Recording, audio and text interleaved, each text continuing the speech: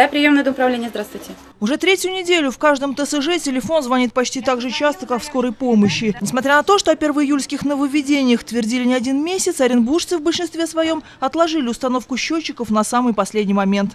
У нас вообще заявок было по 30 заявок в день на пломбировку, на установку, так что большой такой наплыв был у нас, ужасно большой. Раньше счетчики были, сейчас у нас их нет, ну, просим, чтобы жители сами приобретали. Разобрали все? Да. Счетчики закончились не только в ТСЖ, но и во многих крупных магазинах сантехники. Так что треть населения Оренбурга вынуждена скитаться по всему городу в поисках приборов учета. К сожалению, в данный момент кончились. То есть нет, уже неделю примерно где-то точно нету. А вот насколько активно их разбирали в последнее время? По 10, по 20 штук сразу забирали.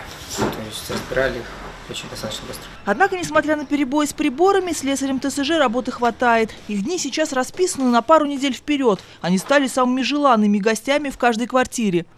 Здравствуйте.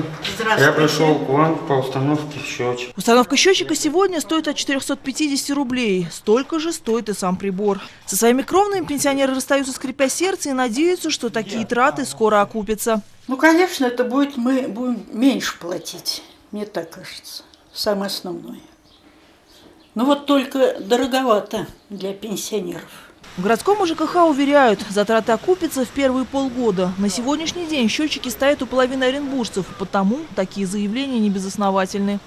Ну, установка приборов учета – это прежде всего стимул к экономии энергоресурсов. После установки прибора учета потребитель видит, сколько он потребляет, насколько может сократить потребление ресурса и насколько сколько может сэкономить средств. По имеющимся данным, при рациональном использовании холодной, горячей воды можно сократить расходы больше, чем на 50%, даже не ущемляя себя в пользовании этой водой.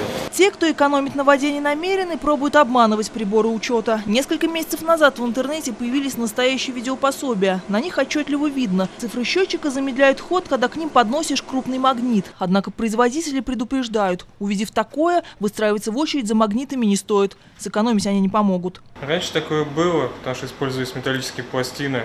Сейчас в основном используют пластик или какой-нибудь металл, который не магнитится. Поэтому их обмануть становится проблематично. Смысла даже нету пробовать. Когда смонтируют, так снова проверяют сами мастера. Магнит нет, потому что им тоже это не очень охота делать, ставить такие счетчики, потому что их потом наказывают с подобной установки. Развенчаем еще один миф. Тот, кто установит счетчик после 1 июля, оштрафован не будет. В законе такая мера не прописана. Но вот цифры в квитанциях однозначно удивлять неприятно. С сентября все те, кто не обзаведутся приборами, вынуждены будут платить заводу на 30-40% больше. Екатерина Киселева, Вадим Доминов. Наше время.